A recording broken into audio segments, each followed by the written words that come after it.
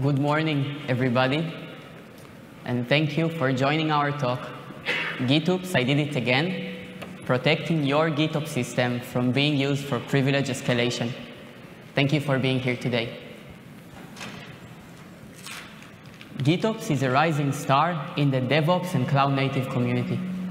And from our experience, it seems like almost every organization is adopting it these days. In this talk, we invite you on a journey to explore GitOps from a security-focused perspective. We will delve into the mind of an attacker, examining GitOps best practices and architecture through their eyes. Our intention is to equip you with a deeper understanding of GitOps and practical tools for its security, strengthening your entire organization's security. Now, just to get a general idea of our audience today, please raise your hand if you or your organization are active users of GitOps. Okay. okay. Um, now, please raise your hand if you're here to learn about GitOps hacking shenanigans. Okay, so the same people. uh, perfect. I promise we'll have something for each group. So let's begin. In our talk today, we'll have five key steps. First, we will explain why we identify GitOps and Argo CD as emerging technologies worth researching. Then we will study GitOps. How, how does it operate? What is the GitOps manifesto? And how does it look like from an attacker's perspective? Then, we will share, in the exploit part, we will share our research story, detailing how we discovered a critical vulnerability in Argo CD system and its implications, as well as sharing insights on how to conduct a similar research. After that, for the GitOps security versus reality part, we will examine GitOps security best practices and identify scenarios where open source projects and cloud providers require a bit of extra effort on our part to avoid being vulnerable to GitOps attacks. And finally, we'll wrap everything up by discussing our practical next steps, and we will share a surprise to, to help you apply what we've learned in this talk. Sounds good? Perfect. A word about us. My name is Oreen. I'm a security researcher at Cycode. I have seven years of experience, and I used to research Kerberos and networking, and currently I research um, supply chain and cloud security. Hey, my name is Elad. I'm a security researcher at Cycode. I also have seven years of cybersecurity experience. I'm mainly focusing on application security and supply chain security. Perfect. So let's begin by identifying a trend. But before that, I want to share with you the story of how the idea for this talk came to life. But it's not for publication, so keep it between us. In 2023, we tried to get accepted to KubeCon North America, and we really thought our talks would make it. However, they got rejected, which left us surprised and mainly frustrated. So for the next KubeCon, this one, we decided to take a shrewd approach to improve our chances of acceptance. We reviewed last year's KubeCon schedule to try and identify security trends, um, sorry, technology trends that might reveal security blind spots. And as we reviewed the schedule, we've noticed that the term GitOps kept appearing. And while we weren't familiar with it, the talks were often accompanied by dramatic titles from prominent companies. As you can see, there was GitOps at Adobe and GitOps at Spotify, and even how GitOps changed our lives and can change yours too from a person working in VMware. Great title for a talk. So we were intrigued. What is this GitOps that everybody is talking about? And the next question would be, do people actually use it, or it's just like conference talk material? Apparently, yes. 91%, probably like 91% of the audience today, are actively using GitOps, um, as stated in a micro survey conducted by the CNCF in 2023. And what's even crazier is that out of the 9% holding back, two-thirds claim that they will embrace GitOps to their organizations during the year of 2024. There is a month and a half left for this year. So, okay, people use it, there is something going on, but how do they use it? Apparently, there is something called GitOps tools, and we were familiar with some of them, but the king for GitOps tools, Argo CD, um, on, the, on the left side, with over 60% embracement rate, we didn't know about it. Nothing. So we went to, the, to its website, and we saw that there are some small organizations that say that they use Argo CD. You might know some of them. So GitOps and Argo CD, there's definitely something going on, but we don't know what it means. Probably you can explain to us later. So our next step would be to understand what are they exactly. And I will let my colleague Elad continue. Thank you, Oreen. So coming to this research, we wanted to know everything about GitOps. Researching it from bottom up, inside out, and basically be the GitOps gurus. So GitOps is a Git source of truth. GitOps is a Git source of truth, meaning all the configuration files, all the resources are stored in a single Git repository. It could be GitHub, GitLab, Bitbucket. Then we have versioning, meaning, think about this.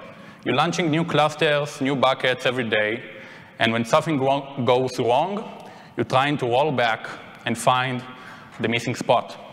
But with GitOps, this is a non-issue. All you need to do is go back one commit, one commit backwards, and your whole infrastructure will be rolled back. And in the end of the day, the current state in the Git repository will represent the current, the desired state in the Kubernetes cluster or in the cloud generally. So let's visualize this a little bit. Okay, we have all of our Kubernetes cluster, uh, all of our Kubernetes resources, all of our buckets, Terraforms, everything inside the Git repository. Then we have a GitOps, as, uh, the GitOps agent that makes sure to be synced and up to date with the Git repository. Then, when a new commit comes by, it will launch the latest changes to the cloud environment. And like we said, a common a GitOps agent is the Argo CD. But before that, how it looks from the attacker perspective. From the attacker perspective, the picture looks a lot simpler. Attackers want to get to the cloud environment, right? Because the production environment, internal resources, and secrets are all in the cloud environment. And who has direct access to the cloud environment? GitOps, GitOps agents that are appealing to attackers and make sense to be appealing attack vector. And the most leading, Argo CD, yeah. Argo CD it, it runs inside a cluster in a separated namespace. It's a Rising Star project on GitHub, and it's a CNCF graduated project. Amazing. And from Argo CD perspective, the picture look very similar. This time, in a Git repository, we have all of our Kubernetes resources in a single place. Then, Argo CD will make sure to be up to date and launch, launch the latest changes to the Kubernetes cluster. So, from a mind of attacker, attacking Argo CD will be very valuable. And now, to the exploitation phase will explain how we leveraged Argo CD to gain elevated permissions inside a cluster. So let, us dive in. We're launching Argo CD, like we said, we didn't know much about it. pushing some buttons and creating a new application. Like we said before, makes sense. The first thing will be to connect a new Git repository. This time is a GitHub repository with all of our deployments and related stuff for Kubernetes cluster. One moment go by and it's already thinking and processing and everything is going smoothly. And one more minute, we have our cluster up and running with all of our deployments. Pretty easy, plug and play process, right? But behind the scenes, it's a little bit more complicated. We committed a new uh, commit to the repository, right? Could be deployment, could be anything else. Then, a repository service makes sure to be up to date with the latest changes and save the latest changes in the Redis cache server, a new component. Then we have the Kubernetes controller that syncs with that Redis cache instance and makes sure that if he has something new, launching to the cluster. And in the end of the day, we have the current state in the Git repository synced with the desired state in the Kubernetes cluster. So, like we saw just now, the Redis cache server is a huge component along the way, kind of like a middleware between the Git repository and the Kubernetes cluster. So we went into the docs, researching it a little bit to see what is the main role of that Redis cache instance. Navigating to the docs revealed an interesting line. Secrets are available to anyone who has access to the Redis instance. Hmm. We like secrets, obviously. So let's access the Redis cache instance, right? Tunneling our way through to the Redis instance, and we got access, totally anonymous. Navigating inside the Redis instance, and we see one key that is very interesting to us, a manifest one. Going to the manifest, and we see all of our deployments, configuration files from the Git repository, just right there in a single place. So we are thinking to ourselves, what if we can inject malicious deployment straight into the Redis cache instance, and by that, interfering with the conventional flow, the Git conventional flow, and inject malicious deployment straight into the Redis cache instance. So let's do it. We are preparing a malicious deployment that, of course, will be privileged to gain an elevated permission within the cluster. Second, reversal. We, want, we want to create a reverse shell back to the attacker server and gain remote access to the cluster, and maybe a privileged one. So let's do it. We are waiting. We are setting up our environment. One moment goes by. One minute goes by. And it failed. It didn't work. We didn't get any connection. Navigating back to the Redis instance, and like nothing got changed. Nothing got changed, and our changes got rolled back. So investigating a little bit deeper, thinking what happened in this process, because we just now injected the malicious deployment to the Redis cache instance. And we found out what happened. We, as an external attacker within the cluster in a separated namespace, tried to inject malicious deployment straight into the Redis cache instance. Then the repository service got notified about those changes and made sure that the Git repository will be up to date with the Redis cache instance and rolled back those changes back to the desired state. So what now? Are we finding a new research idea, a new trend? What are we planning to do from here? I will let my colleague Oreen continue from here. Thank you, Elad. It is a complicated spot in this talk where you hand me the mic, but I will do my best. So our changes in the application manifest got rollbacked. But how did the repository service know that the application manifest was tempered? Could there be something we've missed in the application manifest? We went back to the application manifest, and apparently, yes, the first value of the application manifest is the one we've missed. And the first entry, which is called the cache entry hash, and its value seems something like a base 64. So could it be some kind of validation mechanism for the content of the application manifest, like checksum? Maybe. Luckily, Argo CD is an open source project, so we could just go straight into the source code and try and identify the function that generates this value. So this is what we've done, and we encountered this function, the generate cache entry hash. And we thought to ourselves, well, Probably they're using some kind of private key to sign the, the manifest, a secret. And we thought that this is a dead end. But when we dove into the code to try and see what are they doing, we encountered this comment.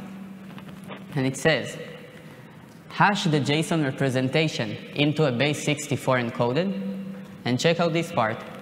We don't need a cryptographic hash algorithm since this is only for detect detecting data corruption. Well, great news for us, right? because it means that we can mimic the logic of the generate cache entry hash function in order to sign our own application manifest with the tampered value, values we've, we've injected. So for our second round of trying to inject a malicious deployment to the Redis instance, we have used the same Kubernetes deployment, which contains a privileged pod, which once deployed will spawn a reverse shell to an attacker-controlled server, our server. But this time, we have recalculated the cache entry hash. We inserted the changes and waited for the changes to take place. And this time, it worked. And we received a privileged connection from within the victims cluster to our attacker-controlled server. Victims cluster is research cluster, right? We're not attackers. So in the Argo web application now, what we could see is that a new record was created. And within that record, there was that attacker pod, which is our injected pod in the injector deployment, which is now being managed and verified that is running correctly by the Argo CD server itself. So how would it look like, this attack vector from attacker's perspective? What could an attacker do? So first, an attacker could access the file system of all the pods that are running in the cluster, as it has file system privileges to the host node to the worker node that's running it, as it can give itself all the capabilities that are available. Also, he could steal all the secrets from the Kubernetes environment, as it can just mount himself the secret, because he, the attacker can now deploy whichever resource he desires. And also, he could steal the token from the, from the other Kubernetes pods as it has access to their file system, right? And if you're into networking, you probably are familiar with this application. The attacker could sniff and intercept all the pod's communication within the cluster, stealing production net networking communication, as it also has capabilities for all the network interfaces of the host node.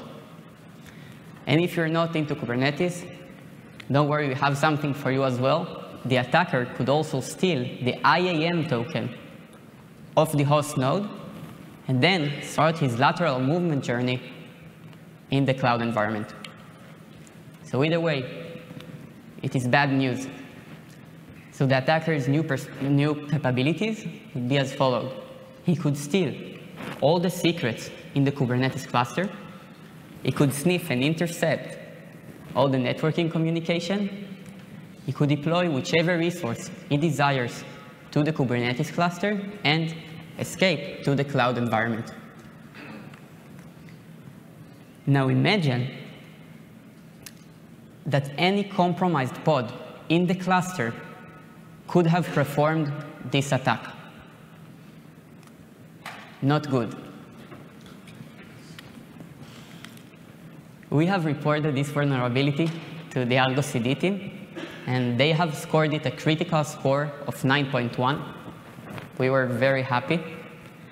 And I want to seize this opportunity to give a shout out to Michael, Leonardo, and Pavel from the Argo CD development team for being highly collaborative and helping us uh, mitigating this vulnerability and making Argo CD safer for all its users.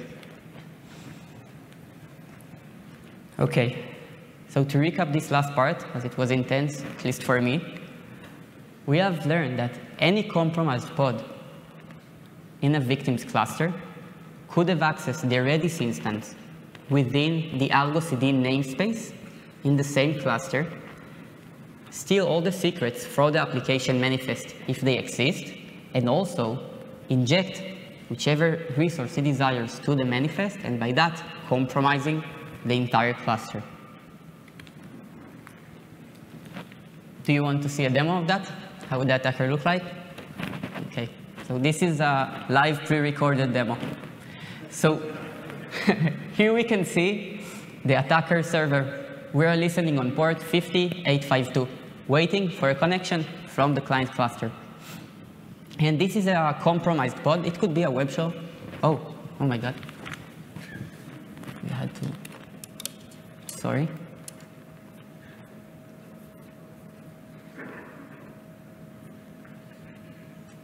So this is a this is our attacker server. Thank you. And we're listening on port 5852. And here is a compromised pod within the cluster. It could have been a pod with uh, public net facing um, to the network. And it got compromised. It has low privileges. And as we can see, it is being managed by the Argo CD instance. So they just like um, a website. And it has no privileges to the cluster. It should not, it should not be able to privilege escalate. And we have installed our tool that implements the, this exploit we've just discussed. And this tool has two modes. First, the detect mode, and then the exploit mode. In the detect mode, it does something very cool. It will try to resolve the full name of the Argo CD Redis instance within the Argo CD namespace against the Kubernetes DNS server in order to retrieve his IP address. And then if we find a Redis instance and an Argo CD server, we will query the version of the Argo CD, and as we can see, the version is vulnerable, I'm telling you. And we got also the IP address of the Redis instance. So now, for the exploit part, it requires two flags. First, the injection file, which will be whichever Kubernetes YAML-based resource uh, configuration you desire, which will, it will inject to the application manifest, and also the IP of the Redis instance. So once it will log in to the Redis instance, if the script will succeed, he will iterate over all the application manifest and inject the malicious deployment into each and every one of them. So even if the client performs a rollback, the malicious deployment will still remain. And we can see that the attack has completed successfully. It found one application manifest and re recalculated the cache entry hash, and of course, injected our malicious deployment. So now, when we will go back to the Argo CD server, we'll be able to see that he manages a new pod now, that attacker, which is our pod. And if we'll take a look on our attacker server, we can see that we have received a new connection from within the client's cluster. And this connection is privileged. So now, we could use it to deploy whichever resource it desires and do all the bad things we've just discussed. So this is how it will look like from an attacker's perspective.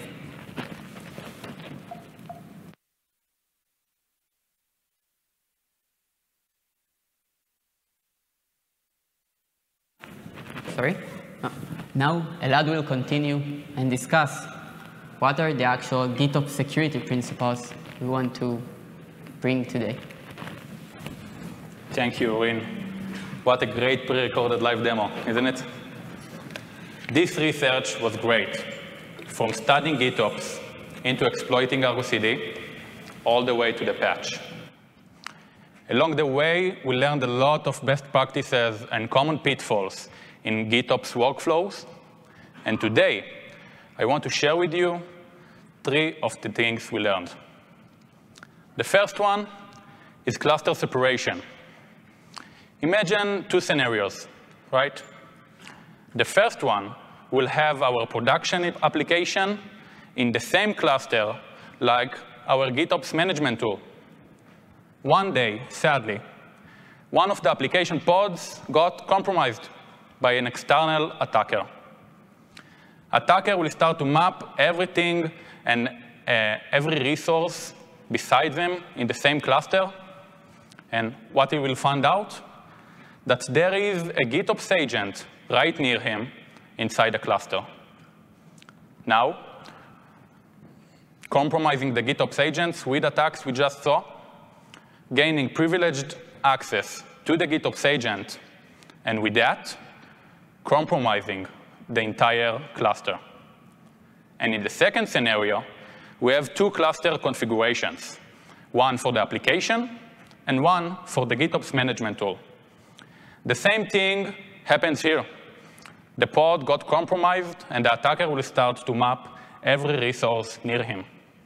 But this time, when trying to access a GitOps agent or any other management tool, it will fail. So the first principle today is keeping clusters separate for our management tool, in this case, the GitOps, and our application tool. The second point is network policy and ensures that we have a CNI plugin to enforce those network policies. For example, with Argo CD, network policies come by default. We have what resources of Argo CD are able to access the Redis cache instance. Great, right? But are those network policies being enforced by default? So we went into a journey in the three main cloud providers to check which one of them had network uh, policies enforced by a CNI plugin. Which one of them do you think had that? And we found out that only GCP had CNI plugin by default without manual configuration, while AWS and Azure required more manual configuration after setting up the cluster. So the second principle here is validating that we have CNI plugin that enforces that network policies.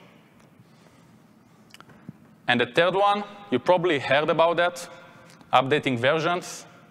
So we took Argo CD as a case study to see how much Argo CD are patched in the wild. And we found out that more than two-thirds of the publicly exposed Argo CD application in the wild are vulnerable, six months later. So the third one, like in any aspect of cybersecurity, keeping the Argo CD up to date as much as possible. And now, to wrap this whole thing up, I'll let my colleague, my colleague Oreen continue from here. Thank you. So, as promised, now we'll share a full security checklist for GitOps and also a surprise because we promised and this is what we do when you promise. So first, adding on top of the three security principles Elad has presented, we have created based on our Argo CD research and our broader research on GitOps, the GitOps Complete Security Checklist, which contains many security principles you can follow and apply to your organization.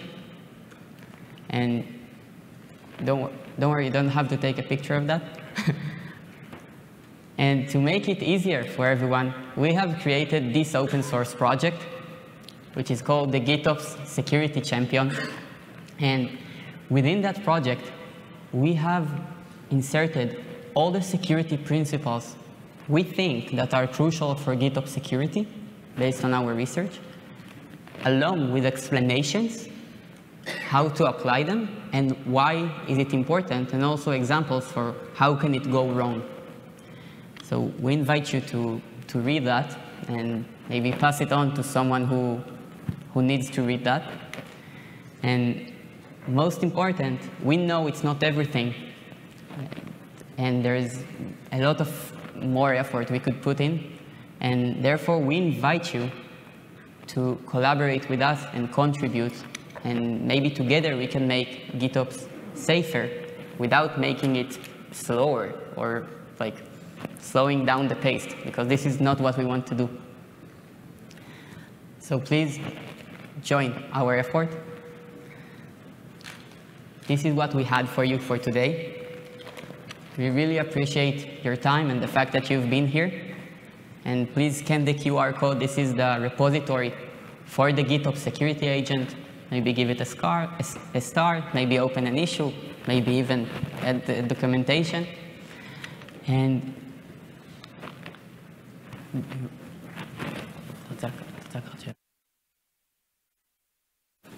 and we don't have time for questions. But we will be happy to stay after the talk if you have any. So please feel free to reach out. And um, thank you again for being here. We appreciate the opportunity.